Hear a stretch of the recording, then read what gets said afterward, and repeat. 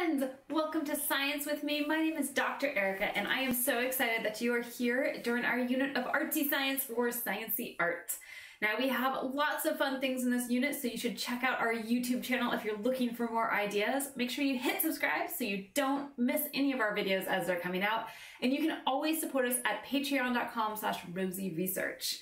Today we are going to make a zoetrope and that is a cool way to sort of make an animation and what it looks at is our visual refresh rate. So our eyes can take in information, but when the light comes into our eyes and it shines on the back to make that image, and then we send it through our optical nerve into our brain so that we can process it and I can say, oh, I'm looking at a camera right now. It can't do that all of the time. It takes time for that message to get sent and for the brain to process it. And so that's what we call our visual refresh rate. It's sort of that time on how quickly can we look at new images. And if we create new images faster than our brain can process them, it looks like regular motion. So that's how films work, and that's also how our zoetrope works. What we are going to do, what you need today is you need a printout of our little zoetrope template. You need a marker, a Sharpie of some sort, is gonna be really nice so you can see it really well. You need some scissors, a pencil, and a CD, or is what's gonna make it up, and then we're gonna put it together with some tape. Now, this zoetrope, when you choose what you're gonna make as your moving image, we're gonna spin it so it's gonna repeat itself.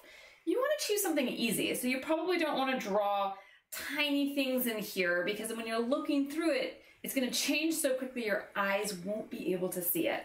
So I thought it would be kind of fun for my zoetrope. I'm going to make a little smiley face that winks.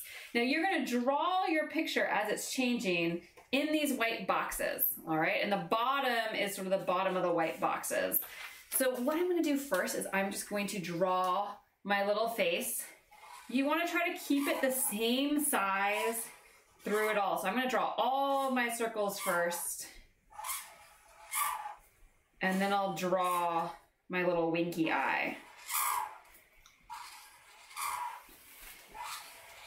Now, if you wanted, you could make like a ball that bounces around in there. You could try to make a person that walks from one side to the other. I'm gonna put happy faces in all of these. If you're on a computer, before you could print it out, you could make a project of creating the same thing. You could reprint it all and copy and paste that same image to see things. All right, so now I sort of have all of my smiley faces ready. I want the beginning and the end to look the same. So they're gonna have some big eyeballs on them. I want my middle one to have a winky eye. So I'm gonna have one eyeball that's normal and a total wink. I'm gonna do that in the next one too.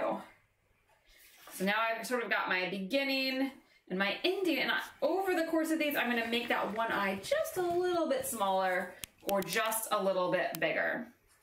In fact, I can put in my one of my eyes first, and then I can just sort of make it, it doesn't have to be perfect. But you can kind of see how I'm slowly getting that one eye smaller till it winks. Now I'm gonna slowly make that one eye bigger until it's all ready. So let's put in this eyeball again. Just like that. And we're gonna get a little bit bigger. And a little bit bigger. And almost normal size. So you can see how if I were to play these quickly, I would have this strip where you would start to see it wink at you.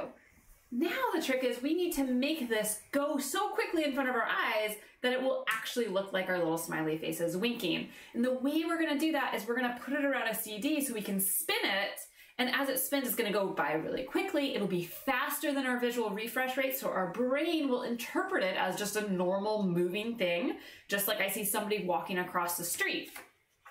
Now, we do need to make some blockers, which is what these guys are for, these actual slits. So the next thing you're gonna wanna do is you're gonna cut around the entire rectangle. And there's two of them you'll notice here. So you're gonna cut all the way around this rectangle. Just like this. And then we're gonna fold it in half backwards. So we'll take this one and we're gonna fold it in half backwards. All right, just like this, and it almost looks like a piano with some keys. And then the next step is we're gonna cut these keys out. All right, so now we need to cut out our keys. And that's gonna be the little slit that our eyeball can see in. And so then we can see those pictures, one and then the other and then the other. And it will show up, that picture will show up in the same spot each time because our slit is in the same spot relative to our picture. We're just gonna take a moment and cut these all out.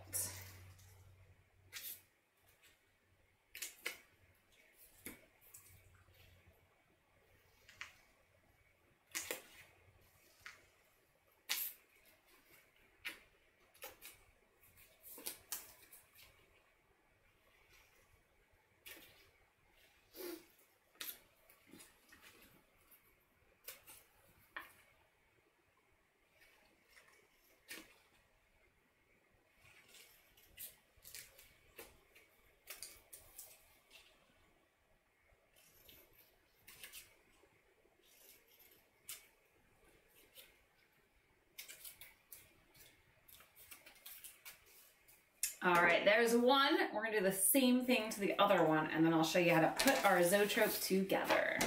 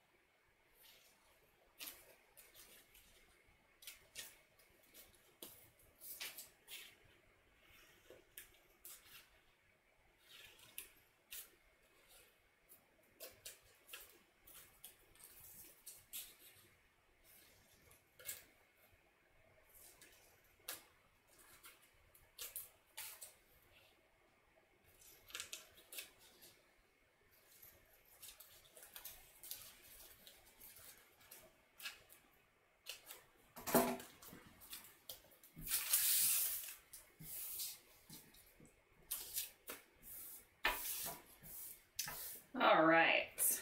So I have both my pieces now all ready. I'm gonna tape these two together because I wanna make sure that my two blinky eyes go together. And because I want my tape to be kind of hidden, I'm actually gonna open it up and then put my tape there. You'll notice I printed mine double-sided and that's totally okay if you had done that too because we flip it, we fold it backwards and you won't be able to see it in the end. So now we're gonna tape it together so that these pieces be right next to each other. Just a little piece of tape. If you have clear tape, you can do this on the outside. I just don't happen to have the clear tape with me today. All right, so I have this one nice, beautiful, long thing. And the way that we're gonna put it on is we're actually going to make a circle with our drawings on the inside. Okay, that's really important. We don't want to go on the outside like this. We want to make sure our drawings go on the inside of our zoetrope. And we're going to tape that into a nice little loop. So I'm going to just sort of open mine up again and tape it in a loop right there. Tape it. And remember our things are going to go on the inside, just like this. And we'll sort of tape this part together. Just like that. So sort of almost like a little crown. And then what we're gonna do is we're gonna tape it around our CD. My CD has a bunch of stuff on one side. I'm gonna tape it so that the flat mirrored side is up. I'm just gonna gently tape it around that CD. So that's gonna hold it nicely in place. You need a bunch of like sort of little skinny pieces of tape to make that work really well for you. And so you just sort of start in one spot. Like this. I'm gonna put the CD all the way inside. And then, oops, we'll start with a one piece. The starting is always the trickiest part. Once you get it started, it's a little easier. Put a piece of tape down here. I'm gonna tape it in onto one part of the CD. Now before I tape it all the way around the CD, I'm gonna go flip it over and tape the other side in directly opposite. And that sort of helps ensure that I don't find out that after I tape, I've got sort of everything wrapped too tightly around the CD and then a little bump at the end. Don't quite want that. So I'm gonna tape this piece in here. And this sort of just holds that stuff in place. And just do the best. You want to eyeball it so that they're sort of right opposite of each other. I'm to do the same thing so that I have four pieces in sort of quarters that are helping me wrap around the CD. You can see that's already sort of coming together.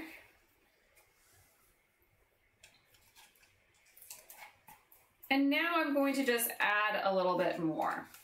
All right, so I'm just gonna slowly tape this on a little bit better.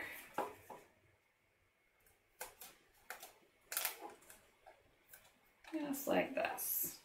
And so this time, this part just takes a little bit of time and patience. We always strive for our best possible job. It doesn't ever have to be perfect. Always remember that. It's okay if it's not.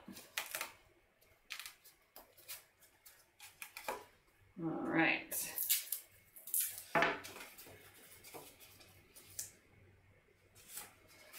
All right, so here I have my awesome little zoetrope. You can see the smileys on the inside, and if I'm looking like this, I can sort of see it's like these fingers that are blocking. I can look down here, and I can almost see it already happening just by moving my hand. But if I really want it to be easier to use, I'm going to use the pencil and insert it right here in the middle of that CD piece. Now, if you want to, you could use a piece of cardboard and sort of cut the cardboard accordingly for the hole and then punch this through the cardboard hole. But if you don't happen to have that, what you can do is I like to just go for the best you can do. And here, like what you can do is you can actually wrap the tape around, sort of a fun little useful trick like this. And you can do that from a whole bunch of different angles. And that will get your pencil to stay in the spot that you want it to stay in. So if you don't have cardboard in your recycling bin or something like that, this is a great way to do it. And you'll just need more tape, but it's totally a fun little tricky way.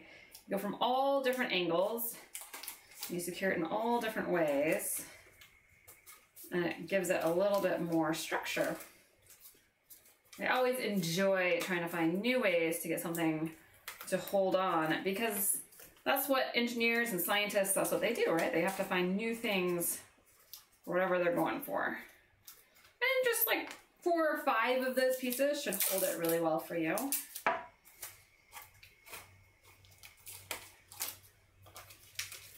There we go. I just love that it's a one less supply piece that you might need. And then if I want to be really strong, I can also tape over the tops of all these pieces too. But you can see that this is actually pretty strong. And now I can spin this in my hand.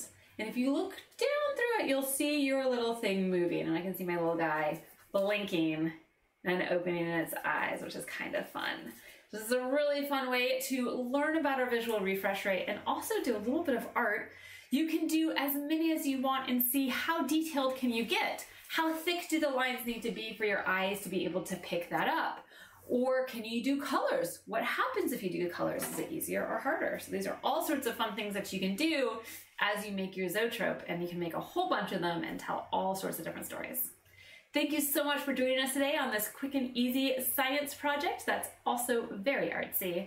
We hope that you will join us all week for our artsy science or sciencey art unit. And again, you can always check us out at patreon.com slash rosieresearch and make sure you hit subscribe to our YouTube videos so that you don't miss one as they come out. Have a great afternoon. Bye, friends.